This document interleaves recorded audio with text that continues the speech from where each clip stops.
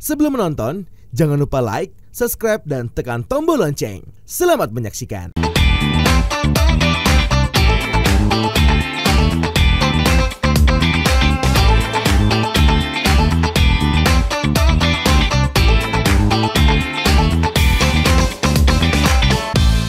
Hai sahabat Rajan, welcome back with me Yuni Keswani in Fashion Corner. Kali ini aku nggak mau dulu ngasih kalian tips, nggak mau dulu ngasih kalian tutorial, bukan karena pelit, tapi aku mau ngajak kalian untuk kita kembali lagi mereview fashion seseorang, public figure pastinya. Dia adalah lelaki tampan, tapi sayangnya sekarang dia sudah beristri, tapi tidak apa-apa. Dia adalah Justin Bieber. Hayo siapa yang di sini kalian Belieber? Baby, baby. Dia udah beda banget sama zaman dulu, karena dulu dia imut, sekarang dia udah uh, udah keker banget dan aku suka banget gaya-gaya stylenya dia. Itu kenapa sekarang aku mau mengajak kalian untuk mereview fashionnya Justin Bieber. Oke, kita langsung aja ke style Justin yang pertama. Nah, teman-teman, ini style Justin ini casual banget. Nah, itu by the way jangan kalian salah tangkap ya. Itu bukan sarung tangan tapi itu tatonya Justin. Jadi aku nggak akan mereview sampai ke bagian tangan-tangannya tapi dari yang dia gunakan aja gitu. Aku mau uh, review dia ini menggunakan itu dia kayak pakai topi snapback gak sih? Dan dia juga pakai ya maskernya bukan bagian dari aksesoris. Mungkin itu masih pandemi ya teman-teman atau dia nggak mau kena kamera. Dia menggunakan aku rasa dia pakai singlet atau dia pakai kalau di wanita namanya tank top.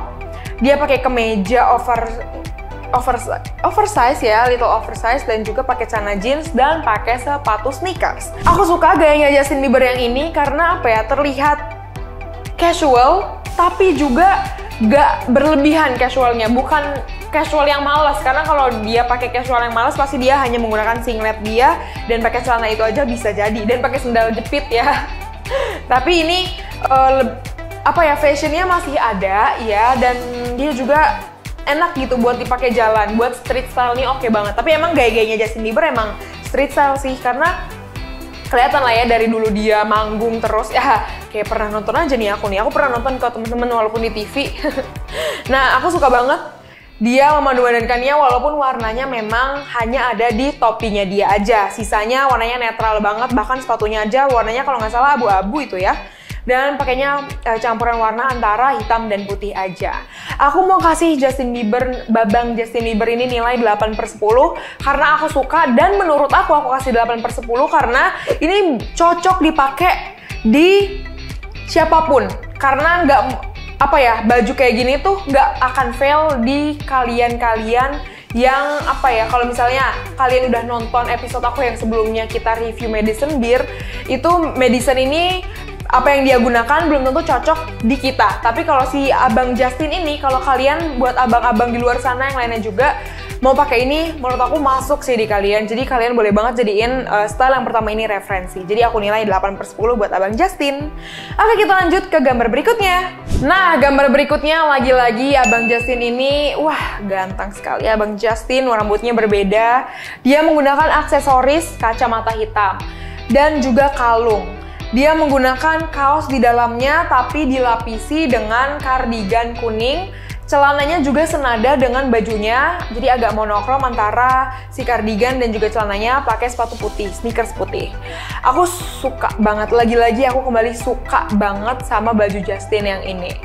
Baju orang-orang ini tuh baju-baju orang-orang estetik yang suka ke perpustakaan atau kalian suka ke art galleries gitu loh bawaannya, bau-baunya tuh bau-bau orang seperti itu.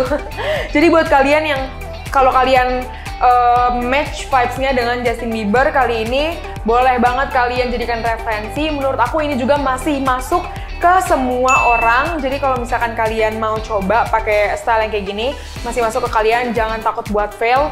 Uh, mungkin ada di permainan warnanya aja gitu. Mungkin bisa jadi kuningnya nggak cocok di warna kulit kalian. Bisa jadi kalian pakai warna kuning ini lebih membuat kulit kalian terlihat gelap atau lebih bahkan terlihat kusam itu berarti nggak cocok di kalian. Mungkin ada di warnanya aja. Tapi kalau untuk stylenya pakai kardigan, pakai kaos di dalamnya, pakai kalungnya itu oke okay banget sih. Apalagi kalau kalian pakai tote bag ya kan makinlah tuh kerasa orang-orang yang suka ke perpustakaan dan biasanya dia pakai uh, antara headphones ataupun pakai earphone itu wah kok aku Jadi kalau misalkan kalian juga wanita mau coba recreate nggak ada yang salah teman-teman. Walaupun yang pakai Justin Bieber, tapi ini menurut aku bisa banget dipakai oleh uh, apa ya wanita-wanita. Tapi memang mungkin kalau kalian pakai di wanita, ini terlihatnya sangat sangat sangat casual gitu loh menurut aku. Tapi oke okay sih. Aku mau kasih nilai ya Bang Justin kalau ini karena dia berwarna dan uh, aksesorisnya lebih ada aku kasih nilai 8,5 per 10. Gimana kalian setuju atau enggak? Kita lanjut ke outfit berikutnya. Nah, outfit berikutnya ini Abang Justin formal. Mungkin dia sedang emang ada photoshoot atau mungkin dia lagi ada sesuatu karena kalau dia hanya jalan-jalan biasa kan uh, capek ya pakainya jas. Ini Abang Justin menggunakan itu kayaknya setelan deh. Dia one set antara blazer, bukan blazer, antara jas dan celana bahannya itu. Dan dia menambahkan kaos kutang di dalamnya atau singlet. Menambahkan lagi kalung dan juga dia pakai headband di atasnya. Hmm, aku suka karena dia cocok uh, di Justin Bieber ini cocok. Tapi kali ini seta stylenya tuh, style kali ini yang dipakai Abang Justin ini bisa jadi tricky di kalian, bisa jadi nggak cocok di kalian karena menurut aku headbandnya ini nggak cocok di semua bentuk wajah. Uh, bisa jadi wajah kalian kecil terus kalian pakai headband nanti wajah kalian ter akan terlihat lebih kecil lagi. Dan juga menurut aku ada di iya sih menurut aku headbandnya aja sih. Sisanya sih oke okay ya menurut aku. Dan tergantung occasionnya lagi kalian mau pergi ke mana. Kalau kalian mau dinner pakai baju ini menurut aku kurang karena warnanya terlalu cerah mungkin ya dan juga pakai headband. Tapi sisanya kalau kalian mau pakai ini buat photoshoot ala-ala atau kalian ada ke acara kondangan, siapa tahu kalian mau atau mungkin kalian ada occasion diundang menjadi narasumber atau kalian diundang menjadi MC, pakai baju ini kalian akan stand out gitu ya di antara orang-orang yang lainnya. Dan aku suka banget ini kali ini aku kasih Justin Bieber nilai 9 per 10. Oke kita lanjut ke outfit berikutnya. Nah lagi-lagi Justin Bieber menggunakan baju casual. Oke kali ini Justin Bieber menggunakan baju uh, kaosnya oversize, tapi outernya atau jaketnya dia itu mungkin fit di nggak fit juga sih di badan dia uh, pas aja gitu. Ya bener fit di badan dia tapi nggak yang ketat gitu.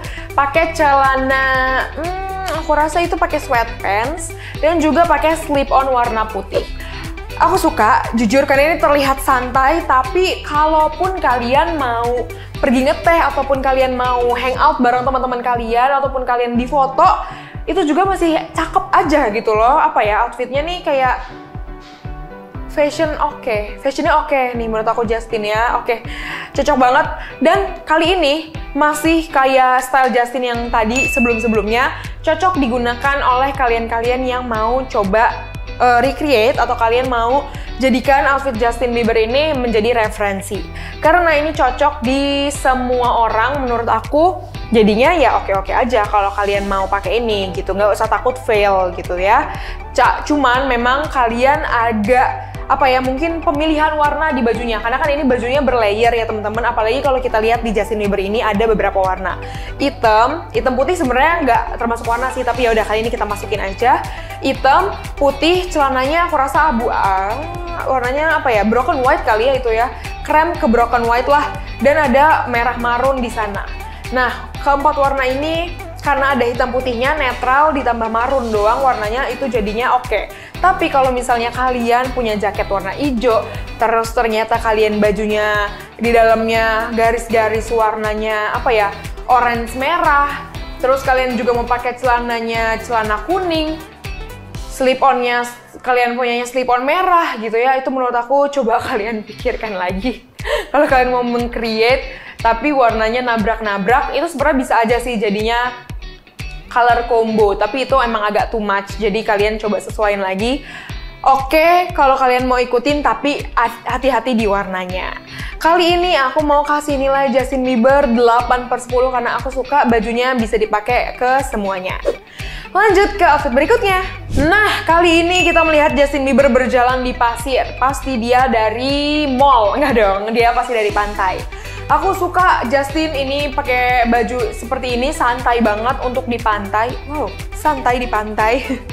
Dia pakai baju warnanya juga menurut aku oke. Okay. Warnanya biru, dia dengan pakai topi kuning, pakai juga itu kalungnya statement dan pakai celana yang berpola. Aku nggak tahu polanya apa, tapi ada polanya.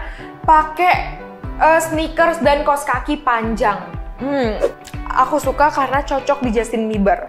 Tapi kali ini bajunya belum tentu eh belum tentu belum tentu cocok di kalian. Jadi ini tricky. Tapi kalau untuk di Justin Bieber aku kasih nilai dulu. Ini aku apa ya? Kurang suka karena ada sesuatu yang mengganggu deh. Kayaknya antara kos kaki dan celananya aku kurang suka.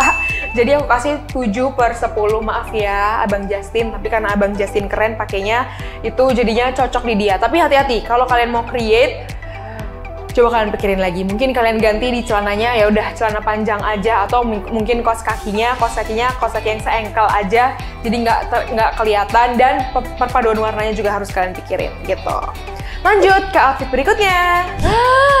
outfit berikutnya ini uh, tidak cocok digunakan di iklim tropis seperti negara kita Indonesia tercinta karena eh cocok aja kalau kalian mau pergi ke gunung. Tapi kalau lagi di Jakarta jangan pakai ini. Ini menurut aku mau hmm, casual tapi karena bulu-bulunya ini uh, jaket berbulunya ini jadi terlihat apa ya lebih uh, ada volumenya, bervolume lebih bervolume dan aku suka banget sih menurut aku.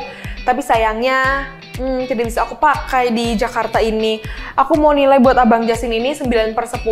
Kalau kalian mau coba pakai, bisa banget. Tapi kalau misalkan kalian mau pikir-pikir lagi, gak mau pakai yang berbulu, kalian bisa ganti aja mungkin jaket biasa atau oversize jacket juga bisa banget kalian pakai buat mengganti uh, si bulu-bulu ini. Takutnya kalian kan kepanasan, kegerahan ya. Ini juga perpaduan warnanya oke banget karena sebenarnya memang netral. Dia hanya menggunakan kaos putih, menggunakan celana jeans itu gombrong, menggunakan sneakers putih lagi dan menggunakan kalung.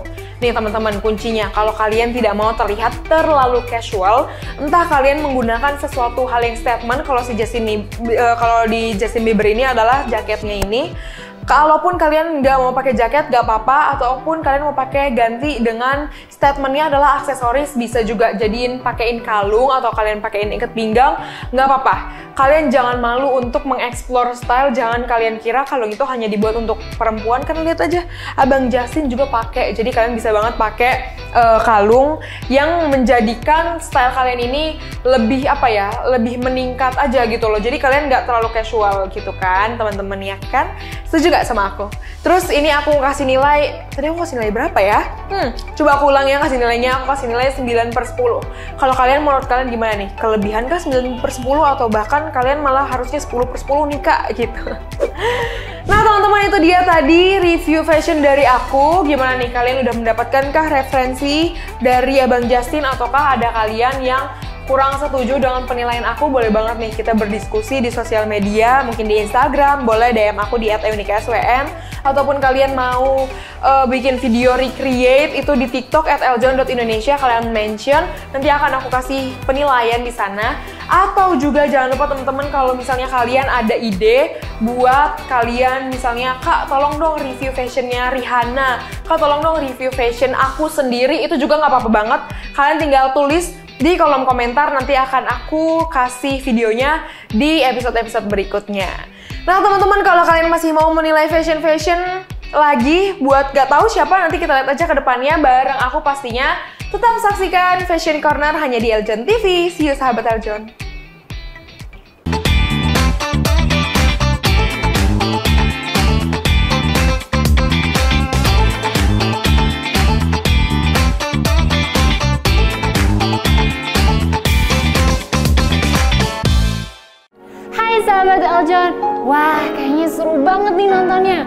Pasti kalian udah like dan subscribe dong. Nah sekarang saatnya kalian untuk bagi keseruan kalian ke teman-teman kalian dengan cara klik share button. Klik ya, klik ya.